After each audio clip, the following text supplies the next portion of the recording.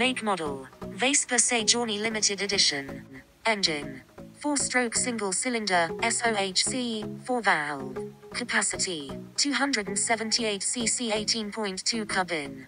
Bore x stroke. 75 mm x 63 mm. Cooling. Liquid cooled. Lubrication. Wet sump, chain driven lube pump. Ignition. Electric. Starting. Electric. Clutch. Automatic. Dry centrifuge with damper buffers. Max power. 15.8 kilowatts 21.5 HP at 7500 revolutions per minute. Max torque. 22.3 Nm 2.27 kg FM 16.45 feet lb at 5250 revolutions per minute.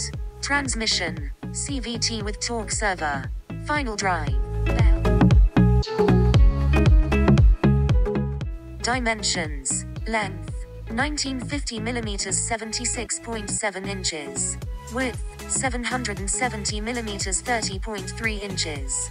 Wheelbase. 1370 mm 53.9 in. Seat height. 790 mm 31.1 in. Dry weight. 158 kilograms 348 pounds.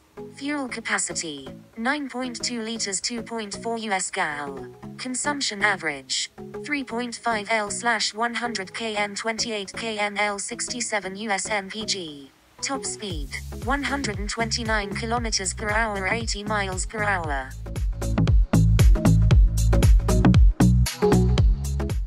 Vespa's new limited edition Sei Giorni, built to pay tribute to the original 1951 Sport Sei Giorni, is reportedly the most powerful and technologically advanced Vespa to date. The origins of a legend. The year was 1951 and the Piaggio Squadra Corse astonished the racing world, triumphing over real off-road motorbikes in one of the hardest and most prestigious competitions, the Sei Giorni Internazionale which was held in Varese.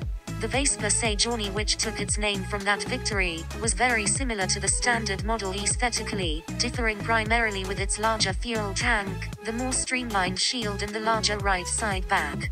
That Sei Giorni model is one of the most legendary in the history of Vespa and it is now highly sought after by collectors.